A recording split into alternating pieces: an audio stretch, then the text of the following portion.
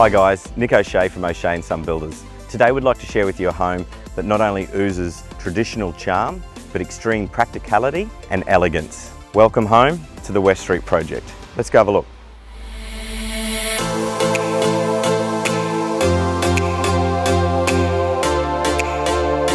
There's nothing better than a touch of Hamptons in the popular suburb of Coorparoo, Brisbane. Starting with the external features of the white picket fence, tranquil grey walls popped with the white trims, large windows, and of course those dual balconies creating that openness and connection to the leafy outlook. Weatherboard facade with its crisp, long-lasting finish is the perfect combination of traditional and contemporary that fits with its surrounds.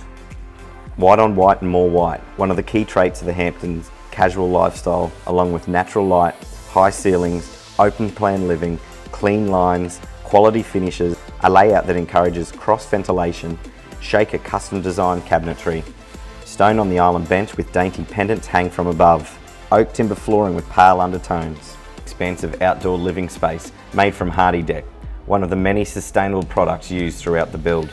It was a pleasure to build for Andrew and Amy.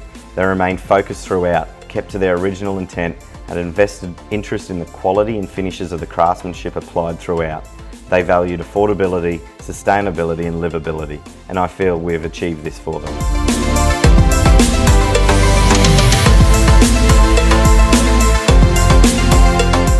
This home is both modern and classic, cool and welcoming.